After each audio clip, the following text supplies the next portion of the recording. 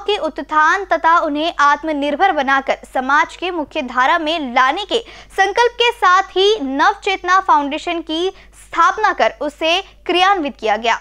मातोश्री वृद्धाश्रम आदासा सोनपुर के सभागृह में विधायक अभिजीत वंजारी, प्रदेश प्रवक्ता अतुल दादा लोंढे, राष्ट्रीय ओबीसी महिला महाराष्ट्र प्रदेश अध्यक्षिका कल्पना ताई मानकर ओबीसी महासंघ महिला जिला अध्यक्षा वृंदा ताई विकास ठाकरे, पूर्व नगर सेविका नैना जाड़े आदि की प्रमुख उपस्थिति में जरूरतमंद महिलाओं के उत्थान हेतु नवचेतना फाउंडेशन की नींव रख वरिष्ठ उद्देजिका शुभांगी ताई नागपुरे को सर्वसम्मति से संयोजक दायित्व दिया गया।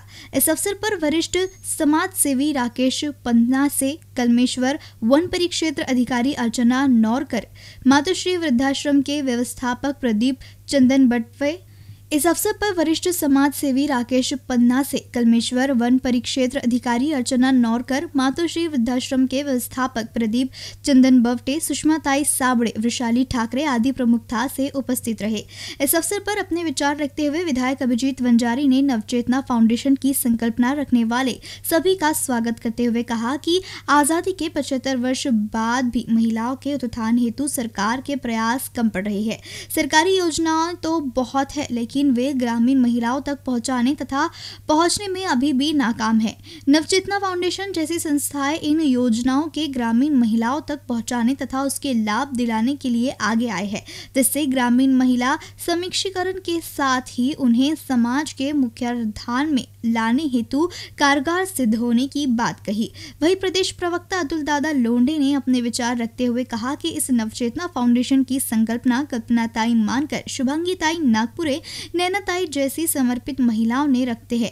वह सफलता की नई कहानी ज़रूर रखेगी। ऐसे विश्वास व्यक्त किया है। वही नवचेतना फाउंडेशन की संयोजिका शुभांगी ताई नागपुर ने नागपुर ज़िले में शुरुआती चरण में एक हज़ार महिलाओं के जोड़कर गाँव गाँव में नवचेतना फाउंडेशन के विचार व कार्यों को पहुंचाना और उन्हें न्याय दिलाना हमारा पहला लक्ष्य होने की बात कही।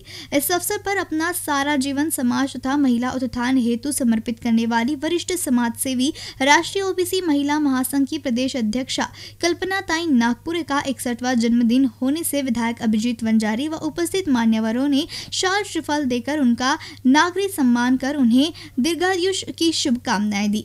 आयोजन का संचालन वरिष्ठ पत्रकार किशोर ढुंडेले ने तो वही प्रास्ताविक पूर्व नगर सेविका नैना झाड़े ने तथा परिचय सुषमा साबड़े ने और आभार मातुश्री वृद्धाश्रम के व्यवस्थापक प्रदीप जी चंदन बवटे ने माना।